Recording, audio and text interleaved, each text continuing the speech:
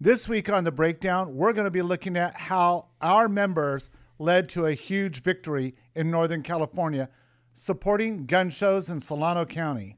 Yeah, and this is the this is the kind of thing that really motivates in the long run, right? Because you work um, you work so hard and so long, sometimes seemingly to no avail. But this is um, kind of a clear cut instance where you literally had fair board members saying that their mind was changed, and you literally had fair board members saying that while their mind might not have been changed, they need to follow what the people want. So uh, this is definitely a, a good and energizing win for us here. So let's go through it.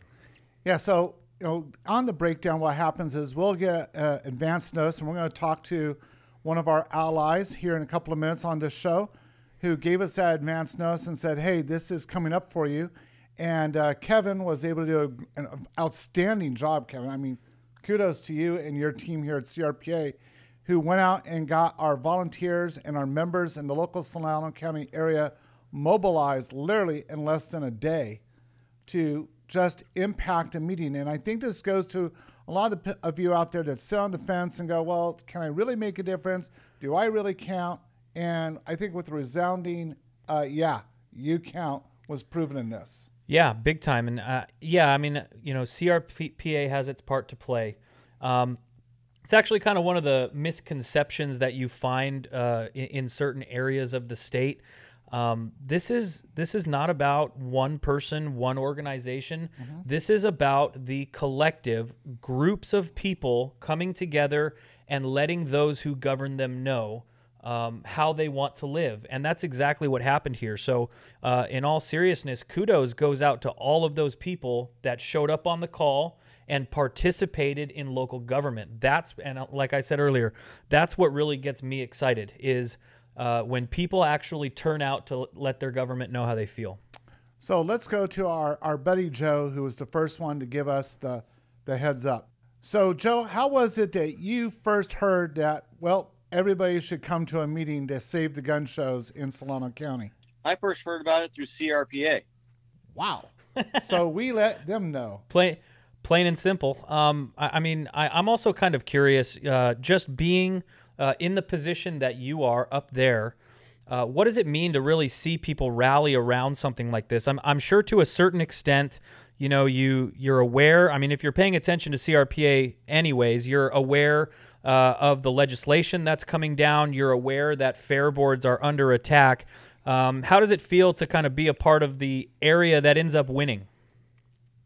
Uh, it's very prideful. You know, um, what people don't realize is gun shows more than just selling guns. Um, people come there to get information on safe handling and more training, uh, learning what they can do to help their children understand about firearms and whatnot. And then you know, I know Joe, you contacted me a couple of days afterwards, and uh, what was the take? Because I understood you were at the gun show there the the following weekend. What was the mood of the people there at the gun show? They're happy. Um, they're excited to see the gun shows staying. They actually the um, Code of the West actually has the next gun show already planned coming up in a few weeks, and they're working on getting the rest of the year scheduled. It was a great turnout. The, the gun show, people were happy, and it was great to see everybody's faces. So down here, we have uh, obviously fought and been wrestling with uh, Senator David Min out of Orange County, who has tried uh, to get rid of gun shows across the state through some legislation, was successful in, in blocking the shows here in Orange County, which we're going to litigate. But would you say that the gun show being present in your county makes the general populace safer or less safe? Uh, definitely safer. Um, there, I all I do when I go to the gun shows, I talk to people about, you know, CCWs and training. You know, there's a lot of discussion about training and answering questions that people didn't quite understand what, like where they can and cannot go with a firearm, how to transport it safely. Um, it's a lot safer. It's people get to understand about training and the different styles of training and the different training topics out there so they get a better overall picture of what's available. you know, this last couple years has been record gun sales, and a lot of it was in California. And people are coming to gun shows to get this information because they don't know where else to go. Right.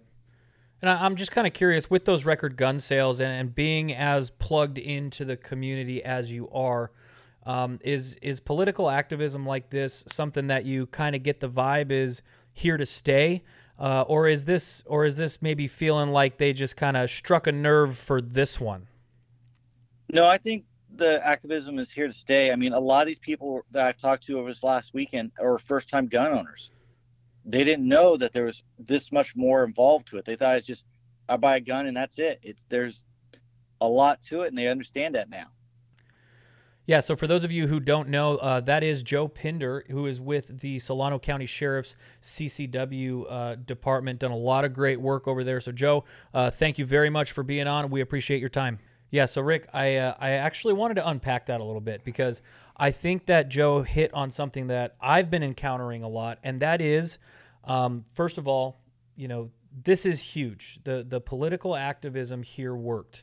Uh, this is a fair board that voted what was it six to one mm-hmm. to ban this gun show in Solano County. Uh, CRPA uh, stepped in and, and we did what we do. We filed mm-hmm. a letter uh, with the fair board saying, hey, actually, you kind of unlawfully passed this. Right. Um, uh, this is due to the Brown Act. And Jacob, if you can just put the Brown Act up there really quick for people uh, to see, basically, the Brown Act ensures Californians uh, the right to participate in their local government. That's, I, I mean, yeah. Ralph in, M. Brown came out with that act a couple decades ago. That's who it's named after. And the whole idea behind it was to stop local governments from being able to hoodwink their citizens. Right, which is, uh, I mean, kind of what happened here. You know, you mm-hmm. have the the COVID excuse, and the technology wasn't working. People were not able to participate, and uh, CRPA ended up filing a letter with the fair board saying, "Hey, you can't do that." And they scheduled this special meeting where it was just overwhelmed with people calling in, using their right to speak at local government um, and they were all telling the, the fair board that they wanted the gun show to stay. So, but I think we need to, to go back even further at the very beginning, at the opening. One of the things that I want to unpack is a point that you made so clearly, but like a lot of things, people miss it. And that was when you said, you know, several of the board members were like, oh, okay, yeah, that's the side I didn't think about. Sure, I'll change my vote. But there was a member of the board who was very, very clear of like, hey, you didn't change my mind, but I understand basically what she was saying was I also understand there's a ton of votes represent here that could mean the end of my political career. So you know what? Even though I disagree, I'm gonna I'm gonna do my job, which is admirable, and I'm gonna vote on behalf of the people I represent. And that is the very thing that you and I have been talking about for months now of politicians we don't work for them. They work for us. And that was a woman who was being honest and showed a great deal of integrity to say, yeah, I work for the people of this county. And since they said this is what they want, doesn't matter what I believe, that's what I'm going to fight for. And not to mention, just the root of the argument is effective. And excuse me, that was the other that was the other thing that uh, Joe touched on that I wanted to bring up is that we have all of these new gun owners, um, and they are impressionable. Mm-hmm. And let's be extremely honest here even people who aren't gun owners, who might find themselves right now on the opposite side of this argument, they can also be impressionable. Mm-hmm. Uh, and what it comes down to is getting the information out there um, and and uh, force multiplying that way. You know, we have a great core of people, even just like on this uh, board meeting, who I'm sure could very easily make the intellectual arguments in just in their own circles. Oh, and, and I think when you listen to what they had said it was very educationally oriented. There was no name calling or anything. People were were very even keeled and just educated several of those members of that fair board of like, no, this is what actually goes on. This is how it goes on. This is what it's about. Answer questions, and we won. We just got to get people doing that statewide.